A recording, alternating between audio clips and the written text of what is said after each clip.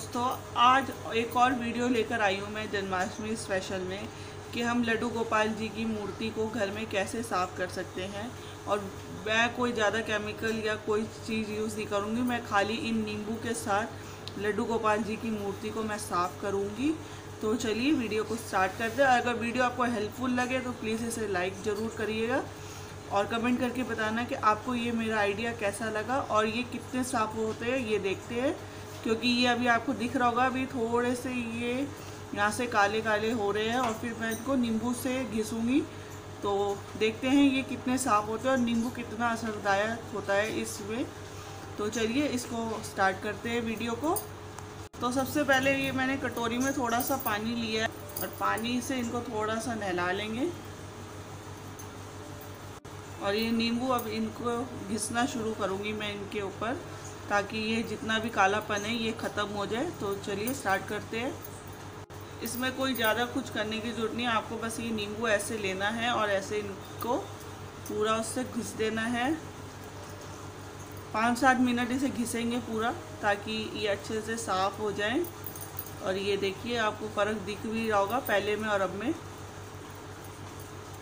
तो जहाँ जहाँ कालापन ज़्यादा है, वहाँ पे इन्हें अच्छे से घिस के साफ़ कर लेंगे।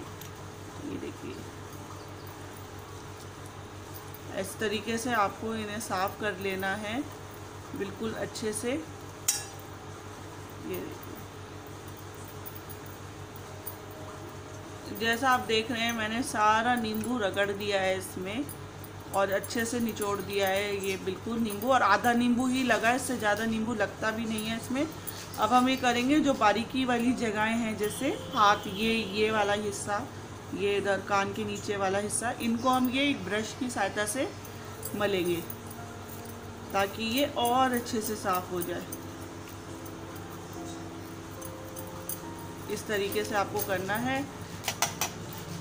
बिल्कुल। ये बिल्कुल साफ़ ब्रश है जो मैंने लिया है। क्योंकि ब्रश से क्या होगा, ये एकदम प्रॉपर तरीके से साफ़ होंगे और इसमें भी पानी में नहीं है, ये नींबू का रस ही है तो उसको भी मैं ये ले रही हूँ, इसी तरीके से साफ़ कर रही हूँ। ये देखिए।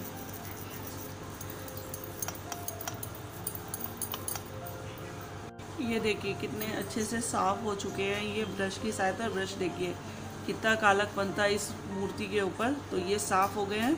अब इनको हम बिल्कुल साफ़ पानी से धो लेते हैं, नहला देते हैं इनको, और ये जो पानी है, पहले इसे साफ़ कर लेते हैं। तो इनको साफ़ पानी से धो लेते हैं। ये देखिए। इस तरीके से बस। ये देखिए कितने अच्छे से साफ़ हो चुके हैं। सिर्फ़ नींबू से ही हमने इनको साफ़ किया और कोई केमिकल हमने यूज़ नहीं करा किसी चीज़ का भी। सिर्फ़ एक आधे नींबू से ये देखिए कितने चमक गए अगर हम इनको डेली ऐसे हफ़्ते में दो बार भी साफ़ करेंगे, क्योंकि नहलाते तो इनको हम डेली ही हैं, लेकिन अगर वैसे प्रॉपर इनकी मूर्ति को अगर साफ़ करना है तो हफ़्ते में दो बार ऐसे कर सकते हैं, और जिसका कोई रंग भी नहीं जाता तो चलिए इसका, इनका श्रृंगार कर देते हैं, फिर मिलते हैं कि आपसे। बाय बाय तो ऐसे एक साफ़ एक साफ़ टॉवल से इनको ऐसे पोछ लेंगे बिल्कुल, ताकि पानी ना रहे, और फिर इन्हें वस्त्र पहना देते हैं हम फटाक से। ये देखिए। देखा आपने कितना आसान था इनकी मूर्ति को, लड्डू गोपाल जी को साफ़ करना। सिर्फ़ खाली मैंने नींबू से तो अगर आपको ये वीडियो मेरी थोड़ी सी भी हेल्पफुल लगी हो तो प्लीज़ इस वीडियो को लाइक करिएगा और कमेंट करके बताना कि आपको ये वीडियो कैसी लगी है। और ये बहुत पाँच या सात मिनट में ये साफ़ हो जाती है और अगर डेली हफ़्ते में दो बार या जब भी आपको टाइम लगे आप इनको अगर नींबू से ऐसे साफ़ करेंगे इनकी मूर्ति को तो ये और चमक जाएँगी और ये धीरे धीरे धीरे धीरे, जैसे हमने नई ली है, उस तरीके से हो जाएगी। तो उम्मीद करती हूँ आपको ये वीडियो मेरी बहुत पसंद आई होगी हेल्पफुल लगी होगी, क्योंकि जन्माष्टमी आने वाली है और हम सब तैयारियाँ कर रहे हैं जन्माष्टमी की तो इसलिए ये वीडियो मैं आप लोगों के साथ शेयर कर रही हूँ।